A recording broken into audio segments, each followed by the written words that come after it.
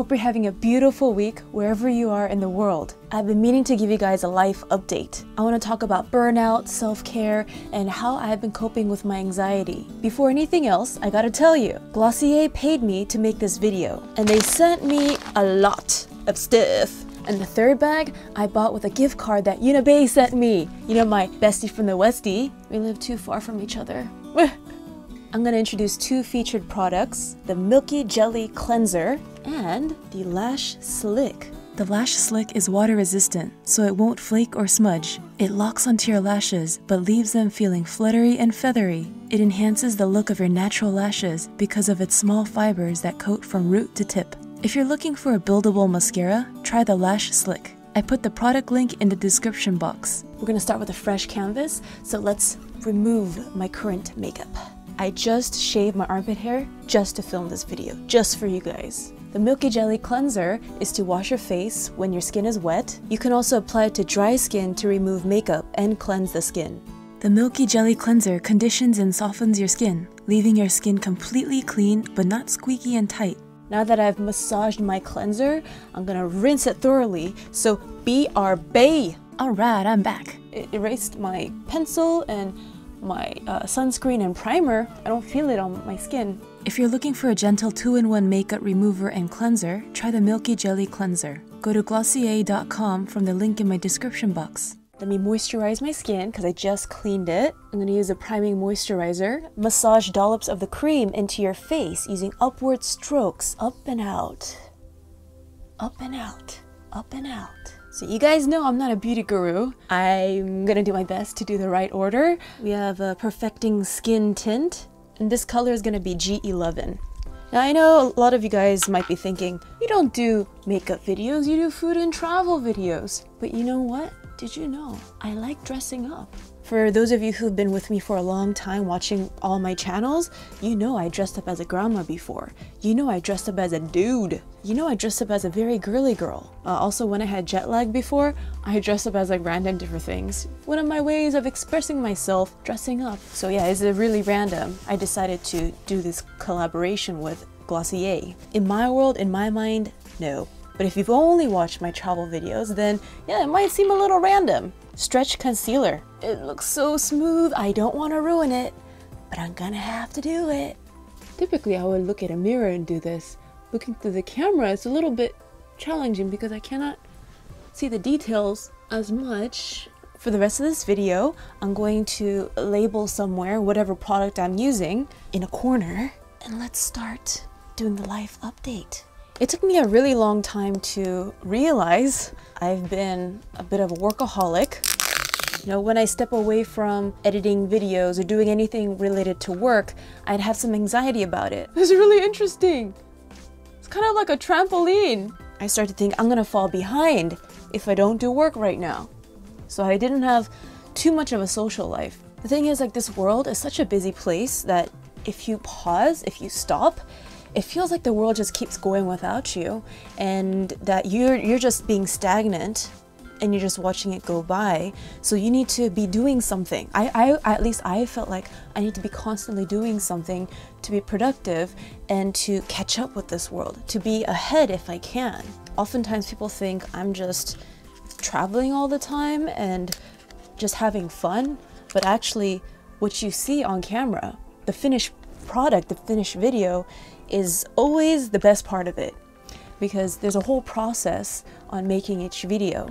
This one's like a thick lipstick, but it is the Haloscope Dew Effect Highlighter. Glide onto cheek and brow bones.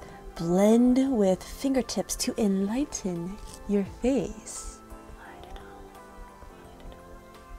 Oftentimes, it takes me over 10 hours to edit each travel video but it takes maybe 10 minutes to watch. So anyhow, I was in this very doing mode because you know, we are most of us are in the doing culture, especially if we live in mega cities. There's always something to do. We're very busy. We're studying, we're working. Even if our career is going well, we're always looking to get bigger, to get more money, to get promotions. It's always constant doing. There's no end to it. So at some point I did get burnout. Dot applicator onto skin and blend with fingertips. It looks taller, doesn't it? My nose looks taller. I was thinking to uh, put contacts in, but the thing is, I have these weird nose things from the glasses. So maybe I just might as well keep my glasses. I feel most comfortable with my glasses anyways. There are a handful of YouTubers who've been getting burning out and making videos on that. And I read the comments and some people are saying, oh, YouTubers have it so easy, they're making a lot of money, um, that YouTubers don't have the right to get burnout. You know, the thing is, some of these bigger YouTubers, they have a full production company and they need to do well to, you know, pay everyone. And if they cannot pay their team members, then they have to let them go. So that's that's a bit of a pressure there. I don't have a team. Some people can still tell me like, "Hey, you don't have the right to get burnout."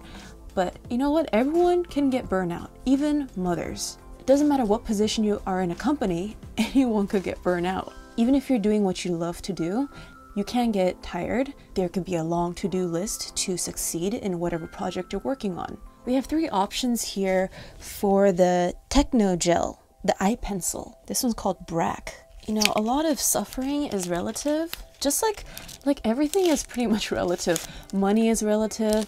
The amount of things you could buy with a dollar in the US versus buying something in Thailand, you could get so much more for your money in Thailand. This eye color pencil name is Disaster Class. Also, pain is relative. You know, the pain you endure as an elementary school uh, student versus the pain you face as um, a 30 year old versus a 90 year old. And you cannot say, oh, a person who is much richer than you, they should not feel any suffering. Everyone goes through some sort of suffering. This one's called Candyland. Typically, I like to go with a darker eye pencil color, so I'm gonna go with the Brack. Got my rainbow cheetah mirror. While everyone's pain and uh, stress, stress threshold differs, we can agree that we're all trying to survive and thrive in this world. You know, it's easy to say, oh, people who are making millions of dollars a year, and I'm not one of those people. Uh, one day I hope to be, but uh, it's okay if I don't get there. It's all right. Oh, those millionaires, billionaires, they have it so easy. But you know, um, first off, some of these people who have a lot of money, they worked to get there. And just because they inherited that money doesn't mean they have it all easy either.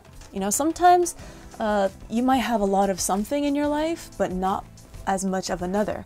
Money doesn't equate to happiness. Money can't buy you health. Sure, money can help you get to the good hospitals, but if you're a billionaire and you're eating McDonald's all the time, do you think you're gonna be healthy? Physical and mental health is based on habits and uh, your mindfulness and your effort. While some people they may have the best of wealth, it doesn't mean they have the best of health. Right, I did my eyes. No, I, I want to play a little bit. I'm going to use the um, other pen, the disaster class, and make it more pointy. You know, for the longest time, I've been a perfectionist, but I've been embracing um, to not be a perfectionist, but just to enjoy more. Uh, as for the eyebrow, I'm going to use my regular uh, eyebrow pencil. So uh, for a long time, I was a bit of a workaholic. Everything was work. When I sacrificed work for anything else, I felt some anxiety. You know, I always sacrificed my social life, um, even my health. Uh, there are days I work a lot on the computer. I sit a lot. You know, some people say I'm lucky to travel. First off, that's not the life that was given to me on a plate. I worked really hard to get that lifestyle to um, incorporate travel into my work life. About two months, two to three months of the year altogether, I travel and I film. You know, when you travel for work and for filming, it's different than traveling completely for vacation and just not thinking about work. I mean, I'm not complaining. You know, I'm thankful that I was able to, uh, with my efforts and the universe helping me, to create this lifestyle. At the same time, this uh, life of travel, it's not all fun and games. Nowadays, with aging, my uh, jet lag has gotten worse. You know, when I fly back from Asia to America, it it's been taking me two weeks to get over my jet lag, and it's really bad because I'm trying to be productive. I'm, you know, during the time I travel, I have this tendency to skip uploads because my laptop cannot handle 4K footage as my bigger desktop computer can. So my um, laptop tends to overheat and I get so scared that it's gonna crash on me.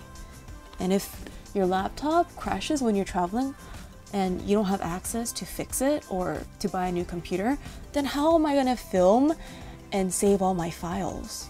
I guess I could buy more memory cards, but if I don't have access to memory cards, how am I gonna keep filming? So after I come back from a trip, I uh, would try to catch up on editing. But when you're jet lagged, it's really hard to be productive. You know, you're trying to edit this video, but most of the battle is trying to be awake. So during the times I'm not uploading or I'm not as productive, I feel down. I, I don't, I definitely don't feel happy. And I also don't feel as much self love a couple months ago, I realized I don't have unconditional love for myself. Every time I don't do well on a test, or if I don't do, sometimes even if I don't do well on a video, after all the work I put into it, I would feel really down. I realized I love myself more when I do well on something. I was so thankful I discovered that. Because first, you need to realize something to change things. If you're in denial or just not aware, how do you make conscious changes? So it's been a work in progress to not judge myself based on numbers, not let my mood go up and down based on how many views a video gets. It's all a work in progress. I've gotten a lot better and my mood has stabilized. Yeah, because it was just so exhausting to judge myself based on numbers. And I just thought to myself, when is this going to end? And it's not going to end by itself. I have to work through it. It has to be conscious change. And I, I want unconditional love for myself. And actually, I did a poll on Instagram asking people, like, do you feel unconditional love for yourself? And more than 50% of people said, no, I don't have unconditional love for myself. So that was really surprising to me. I thought more people have unconditional love for themselves. We are worth, each of us is worth more than any test. We are worth more than our job. You know, if we have unconditional love for ourselves, we can be more resilient to whatever else is going on in the world. Anything can happen, but if you could be solid here, nothing's gonna touch you. Here's the thing there, there will be moments when you feel so solid, and then other days you might not feel as solid. But that's the thing, once you feel more solid and you achieve that. You achieve, but that doesn't last forever. We have to constantly maintain, we have to be mindful. It's a practice. Positive attitude is not always just given to you on a plate. Every day you need to um, feed your mind with good thoughts. You know, the body plays a big role, so you have to also do your best to feed your body with healthy nutrients. You know, cheat days are okay. You know, once in a while you have that pizza. That's fine. You know, just know that what you feed your body can also affect what's going on in here. it's been a long time since I put mascara on, so I'm having a ball right now. Oh, let's have a sip of tea. This is a ginger and turmeric tea. Whenever I film update videos, I can't seem to remember every single thing I want to say. It's like after I film or even when I'm editing, I'm like, oh, I forgot to mention that. So I'm doing my best to remember everything off the top of my head. Ever since I was in college, I was a big fan of Anthony Bourdain. And back then, I always thought, oh, the travel show hosts are so lucky to travel all the time. But now that I have my own YouTube channel that's about food and travel, I realize, wow, actually, it's a lot of work. You know, like I mentioned, it's not like I'm traveling all the time. Uh, most of the time, I'm just sitting behind the computer and editing videos. And then to reverse the effects of, you know, sitting behind the computer all day, I, uh, I've been doing yoga. So that's, okay, so that's part of my self care. Oh, I like this glitter. I want to put some more because I feel like it. Do you ever find yourself limiting your playtime, limiting your rest time, all for work? Do you sacrifice everything for one thing? Part of my self care routine has been to take care of my health and to relax every day. Not, not save all your rest and relaxation for the end of the week or when you have free time. Before, I used to let myself rest and have fun when I have free time. but now I schedule in rest and relaxation. I've been uh, doing more restorative and yin yoga, which involves more stretching. Doink. Doink. I kind of just like it like that. It's like dimples. Both of these are multi-grade palettes, palettes? Use detailer or fingertip to place onto skin, and the direction says, have fun. Before I forget, I wanted to shout out to Faye Bay. I miss that girl so much. And she has filmed Get Ready With Me videos uh, paired with life updates. So, Faye, thank you for um, this inspiration. If you've never seen Hey It's Faye, you gotta check her channel out. She's so funny. For the rest of the look, what will go well with it? Maybe let's go with um, the less yellow one. Party, party on my eyelid. Other self care activities I've been incorporating into my life is to be okay with being slow, taking it at a slower pace, being in the moment, being present. Meditation helps a lot. Last year, I've had, I've experienced panic attacks. Uh, for the first time, right after I turned 30, that's the first time I experienced my panic attacks. And it was really scary. My mind went completely blank and I had a tightening in the chest, like there's a knot. And then the next day, every time I got a panic attack, I would get sick, which would worsen my anxiety because I got a panic attack in the first place because of work. Every time my my things in my personal life was giving me more to do things, I felt anxiety that my personal life was taking time away from my work.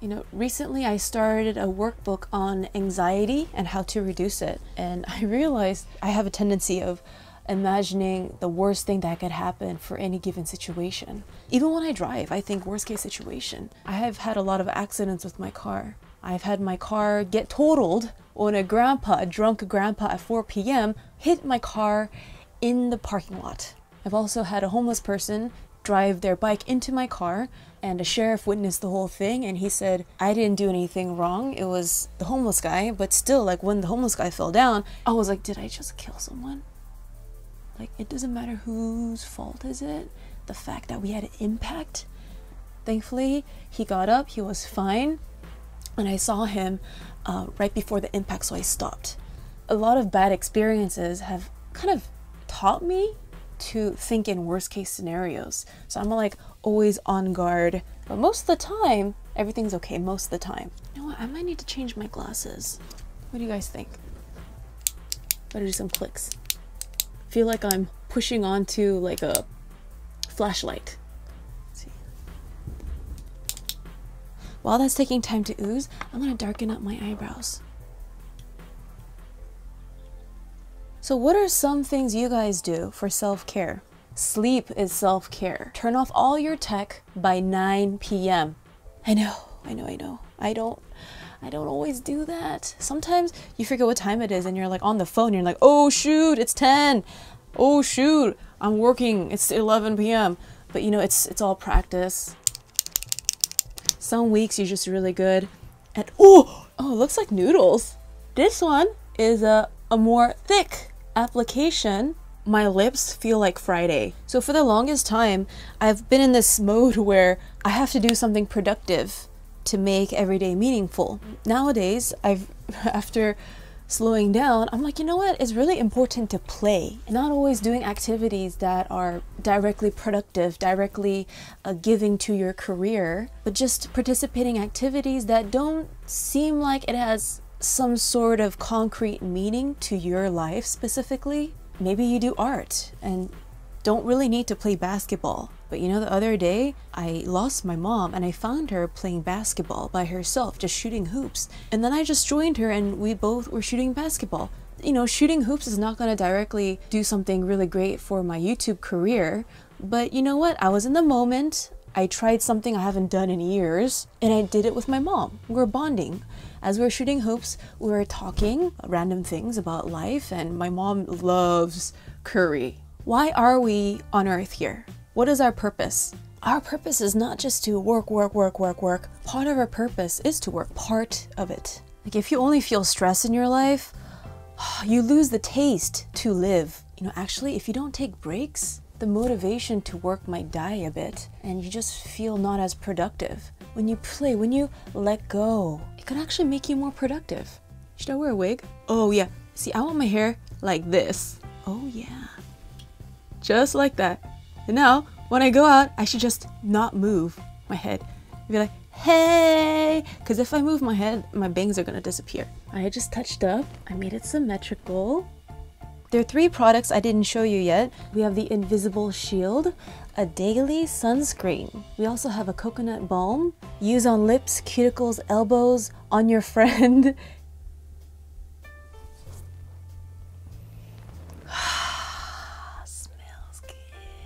Smells a little coconutty. Sweet. Smells sweet. Oh, I am craving dessert. If you use this when you're super hungry, you might just eat it. This one I ordered with Yuna's gift card. It is the Zit Stick Breakout Eraser. Here are the Glossier products in the order of how I applied them. If you like this look, please give this video a thumbs up. If you don't like this look, you can also give it a thumbs up. Thanks to Glossier for sponsoring this video. Hope you had fun getting ready with me. Do any of you guys cope with anxiety? How do you guys handle stress? And what stresses you out the most? Let me know in the comment section. Toodles, my noodles.